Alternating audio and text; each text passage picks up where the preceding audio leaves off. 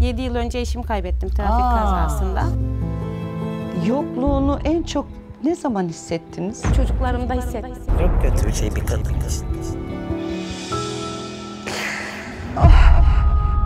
Ben aynı şekilde babamı kaybettim.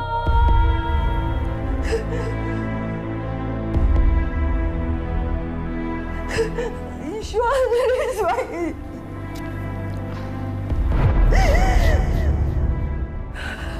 yaşıyordum yani.